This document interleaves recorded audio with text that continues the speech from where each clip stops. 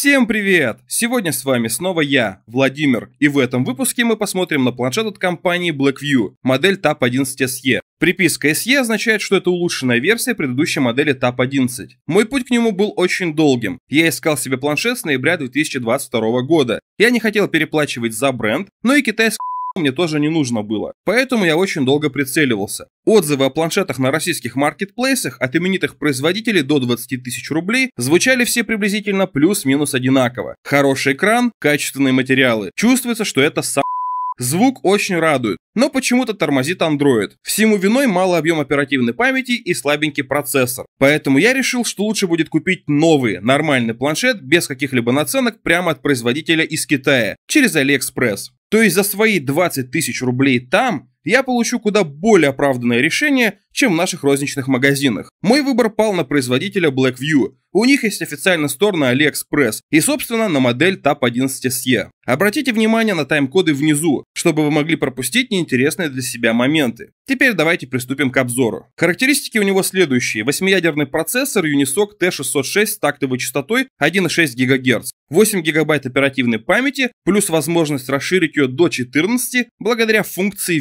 VRAM. Накопитель объемом 256 гигабайт в моей версии. Из них система занимает только 10. В качестве оболочки здесь используется Dock OS 3.0. Я бы сказал, что это почти чистый Android с парочкой фирменных утилит, вроде режима рабочий стол и так далее. Обо всем этом я расскажу дальше. 4G модуль с возможностью подключить две сим-карты. Да, с этого планшета можно звонить. Либо одну сим-карту и карту памяти формата microSD. На борту установлен Android версии 12.0, и Blackview обещают обновление Android до версии Tiramisu. Есть разъем джек на 3,5 мм, фронтальная камера на 8 мегапикселей и задняя на 13. В ней используется модуль от Sony, она с автофокусом. Сзади также установлена вспышка-фонарик, довольно тусклая, но она все-таки есть. Вот примеры фотографий, сделанных задним модулем камеры на улице и в помещении на стандартных настройках. И то же самое на фронталку. Диагональ экрана чуть больше 10 дюймов. Его разрешение равняется 2К. Это 2000 на 1200 пикселей. Экран прям мое почтение. Цвета очень сочные, экран яркий, его показатель 400 нит. И здесь используется IPS-матрица.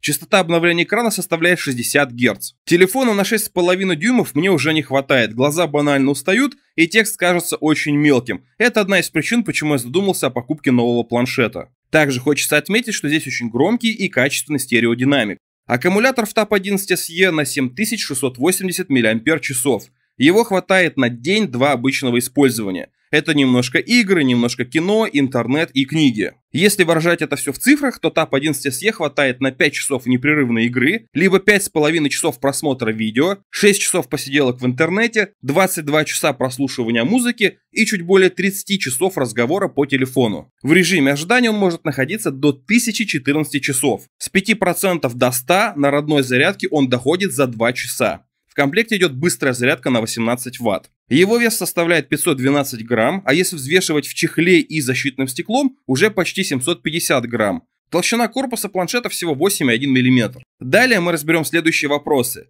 Как ведет себя оболочка DocOS, какие у нее есть особенности, плюсы и минусы. Потом я покажу вам, как он ведет себя в играх и на что вы можете рассчитывать в плане производительности. В конце дам вам послушать музыку и чуть более подробно расскажу о его комплектации. DocOS 3.0. Главное отличие от голого андроида – это фирменный настольный режим, который позволяет запускать приложения в оконном интерфейсе. Разработчик честно предупреждает, что это работает не со всеми программами. В настройках можно активировать автоматическое переключение с планшетного режима на режим ПК при подключении внешней Bluetooth клавиатуры. Очень удобно. Так было на моем стареньком планшете Acer с Windows на борту. И как только вы отключаете клавиатуру, Tab 11 SE переключает интерфейс обратно в планшетный режим. Я теперь с ним хожу в кафе писать статьи для Дзена. Мне настольный режим ПК очень понравился. Есть игровой режим, возможно не такой, к какому вы привыкли. Сейчас поясню. На аппаратах от Xiaomi, например, разгоняется процессор, выгружаются все фоновые службы, которые не были закреплены в менеджере задач, и запускается режим «Не беспокоить», чтобы случайный звонок не запорол вам катку. Здесь все то же самое, но процессор Unisoc T606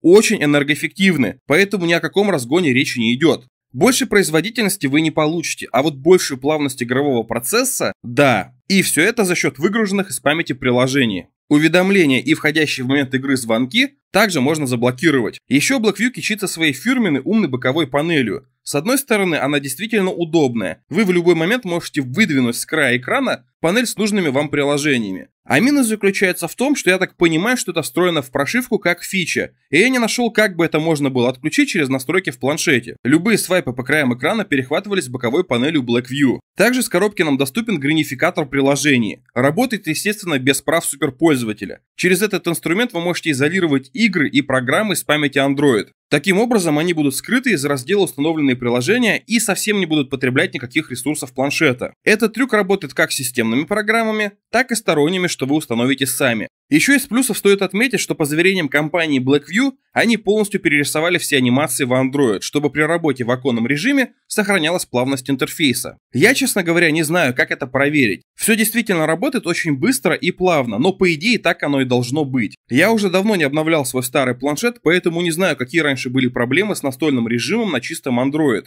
Можете поделиться со мной этой информацией в комментариях. И последнее, и самое главное для меня лично. Я геймер, я очень люблю игры, и я не собираюсь взрослеть. И на моих последних смартфонах, это Xiaomi Mi 9T и Poco F3, ни в какую не определялись геймпады Xbox One S и DualShock 4. Китайский геймпад, пожалуйста, проблем ноль. Но вот оригинальные нет. И из-за этого я не мог играть во многие игры, где поддерживались только фирменные геймпады от Microsoft и Sony. Я даже не мог стримить себе игры со своей консоли Xbox на телефон. У Dock OS 3.0 никаких проблем с определением геймпада Xbox One нет.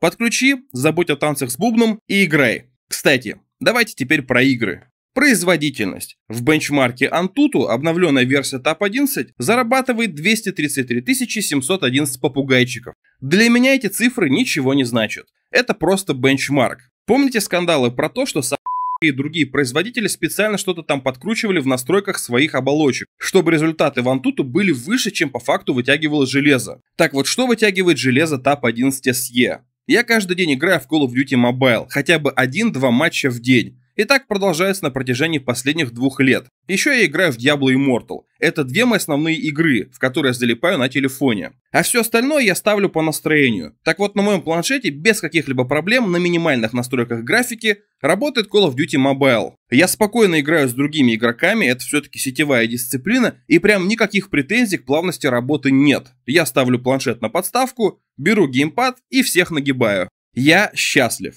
Diablo Immortal также идет на минималках. И хочу отметить, что здешний процессор совсем не греется. Poco F3 уже через 15-20 минут игры очень сильно нагревался. Правда, там все настройки графики выставлены на ультра, и чтобы частота кадров не падала, мне приходится лепить внешний кулер. Тут планшет вообще не греется. Я щупал его в разных местах, я даже сходу не могу определить, где именно расположен процессор. Еще установил на него классическую RPG-шку The Quest. Я не могу сказать, что размер экрана удобен для игр, особенно где для управления главным героем используются два стика, поэтому у меня тут только стратежки и игры, работающие с геймпадом. Игрушка не требовательная, работает нормально, автоматически запускается в планшетном режиме. На некоторых устройствах The Quest не может определить, запущена она на телефоне или на планшете, поэтому в настройках игры есть принудительный переключатель. То есть я еще раз хочу отметить, что к Dock OS, как к оболочке, у меня вообще нет никаких претензий. Все работает правильно и как надо. Диабло идет просто прекрасно. Еще бы, игрушке чуть больше 25 лет.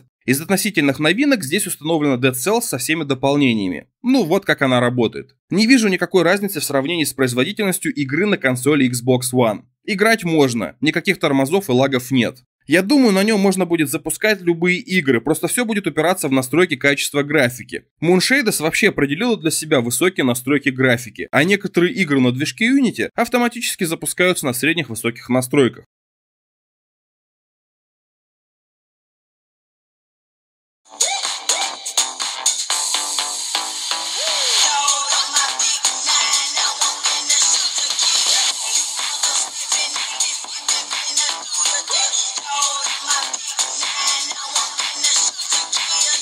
Так вот звучит музыка. Это максимальная громкость. Обратите внимание, что ничего не хрипит и не пердит. К звуку никаких претензий нет. Особых технологий для улучшения звука в TAP 11 SE тоже нет только встроенный эквалайзер от самого Android. Из коробки у вас уже на экран наклеена защитная пленка, планшет упакован в фирменный чехол, это чехол-подставка с магнитной полоской. Я использовал такой же на первом iPad mini и стариком планшете Dell Venue 8 Pro. Оба они были с диагональю экрана 8 дюймов. Здесь же он чуть меньше 11, и мне все время казалось, что планшет опрокинется. Но спустя неделю использования могу вас заверить, что складки чехла очень прочные и за устойчивость планшета вообще нет никакого смысла переживать. Благодаря магнитной полоске, когда вы закрываете экран планшета, он определяет, что никто им не пользуется и блокирует его. Внутри вы также найдете защитное стекло. Это самое обычное защитное стекло, которое я заказывал для своих гаджетов на AliExpress, но с вырезом под фронтальную камеру TAP 11 SE, чтобы не ухудшить качество снимков или чтобы стекло не мешало работе функции Face Unlock. У меня настроена разблокировка планшета через распознавание лица и скрепка, которой можно вынуть сим-лоток из корпуса планшета.